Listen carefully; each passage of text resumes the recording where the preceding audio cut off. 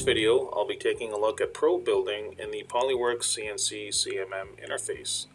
So you have Polyworks set up, it's installed, it's, it's up and running on your machine.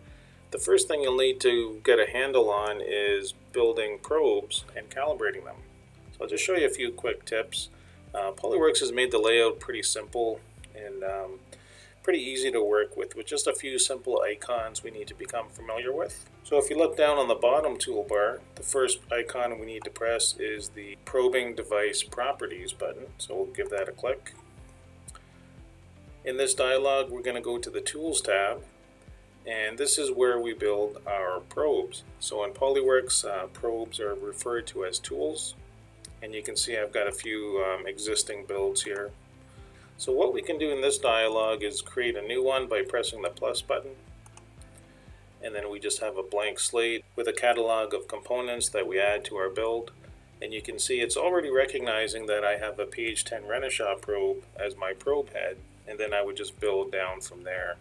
If you are having trouble remembering some of the components, um, what you can do is create a duplicate of an existing probe build so they allow you to do that with this button here and then we can just rename it to whatever we wanted. So if we wanted to just add a stylus at the bottom, like a, a, new stylus, but everything else was the same, what we could do is just rename this to say a, um, a 20 by uh, 2 millimeter.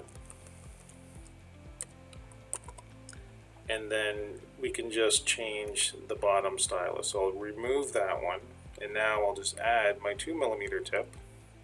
You can see it up here and just hit the add button and there's our new stylus.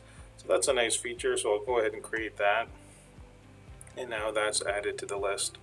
Okay so let's go through the process of creating a new tool from scratch. So what we'll do is first is press the plus button to create a tool and here we have a choice of naming either automatically or specific. So I'll go with automatic because it'll just create the name based on my build as opposed to specific, which would be my, me choosing the name uh, myself.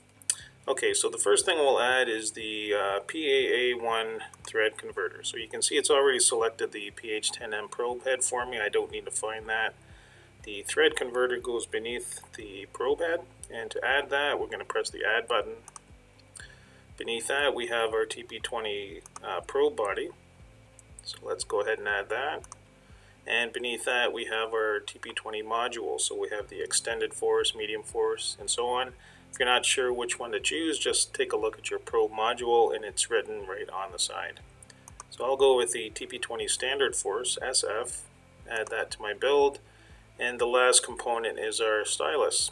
Uh, so you can see these columns are uh, organized by size, length, and so forth. So I'm just going to scroll down. I'll choose the 5 by, let's go with 5 by 50 and add that to the build. That's it. So when we're done the build, you can see the automatic naming has kicked in and it's named it for me. So that would be my recommendation.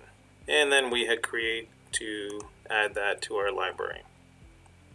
Okay, so we're done that. Let's uh, exit this dialog. And in the main interface on the bottom toolbar, you see a little window where we can select the tool build that we want. Okay, so that's about it. So that's probe building in the Polyworks CMM CNC interface. Thanks for joining me, and we'll see you next time.